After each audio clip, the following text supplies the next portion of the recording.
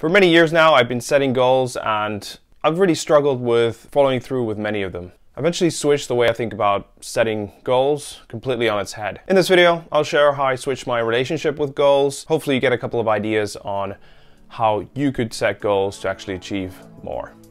Let's take a look.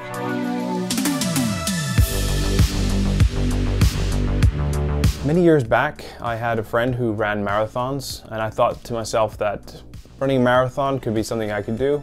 And I decided that I'd put my mind to it. I had a couple of months to train for the marathon. I ran the marathon and I took the compulsory picture in the finish line with my medal in my hand. And after the marathon, since I've been training for two months and running and doing sprints, running felt more like a chore than anything fun and I stopped training completely. And that's the challenge with the traditional goal setting systems, is that you set a goal and then once you've achieved that goal, you're gonna set yourself a new goal. And that usually requires quite a bit of effort. Another problem with traditional goals is that you set your goals way too high, so you don't even get started. And more often than not, life gets in the way of your goals you get sick or injured, and you don't end up achieving the goals in the first place. So getting motivated to start training again can feel like quite an effort. This is where identity-based goals come in.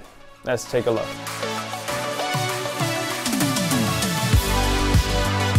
In a nutshell, identity-based goals are goals that you set by describing a specific identity. This entails visualizing a better self or an identity you aspire to embody. Let's take a look on how you can set identity-based goals. Start by visualizing an ideal self. Who do you want to be? This does not mean a person or a role model, but an identity that describes in words, a better version of yourself. Another important thing to note when creating your identity based goals is to make them flexible. If you say, I'm a runner, and if you're not able to run for an injury or illness, it might make it harder to stick with the identity goal.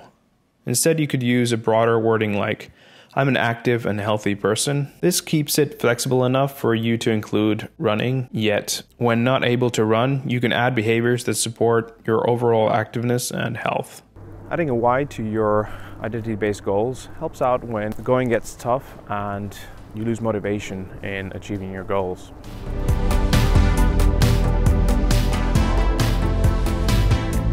Outposts are close to the way we think of traditional goals. They provide direction and help with creating habits that support the overall identity based goal. Let's say, for example, you want to live an active and healthy lifestyle. Striving to run a marathon could provide direction and help you to determine what behaviors you should engage in in order to reach the outpost. Outposts are, however, not a means to an end and therefore are not required to strive for your identity based goal. One of the greatest pitfalls of the traditional goal setting system is what to do when life happens and you've failed your running a marathon goal. Not reaching an outpost due to injury, for example, does not stop us from doing other activities that support the identity based goal, and therefore the system keeps us moving forward.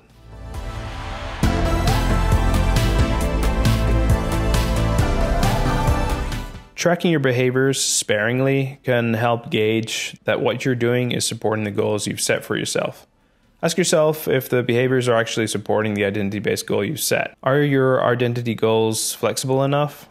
Are they going with the flow of life or against it? Reviewing your behaviors also ensures that you are in the Goldilocks zone.